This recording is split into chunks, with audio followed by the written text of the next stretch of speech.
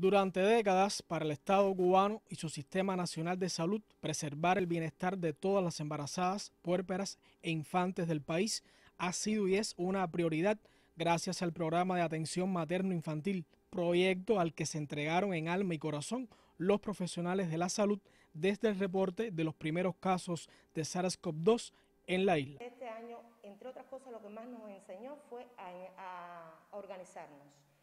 el, programa completo se organizó, nosotros cuando tuvimos el pico máximo tuvimos centros de aislamiento dedicados a embarazadas más vulnerables, a embarazadas de menor riesgo, y las que llevaron, las que tenían un riesgo muy superior, esas estaban dentro, de la, dentro del hospital, en salas de hospital,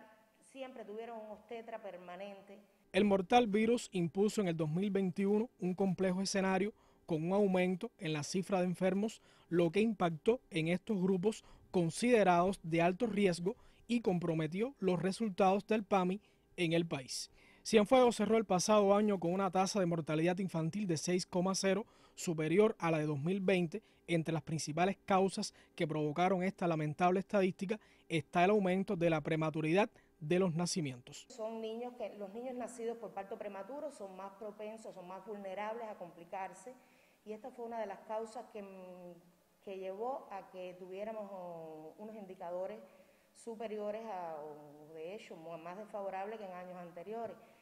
que se nos elevara la tasa de mortalidad. De hecho, las causas principales fueron las complicaciones de la prematuridad,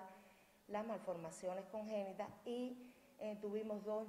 dos eh, mortalidades, mortalidad eh, de niños por bronquiolitis, que fue otro, otra, otro problema que tuvimos en los últimos meses del año con el elevado índice eh, de, esta patología de los niños menores de un año con bronquiolitis. Constituye prioridad para el programa materno-infantil en este 2022 dar seguimiento a las acciones dirigidas al control de las embarazadas con enfermedades crónicas previas a la gestación, así como a las que aparezcan durante el embarazo, parto o el puerperio.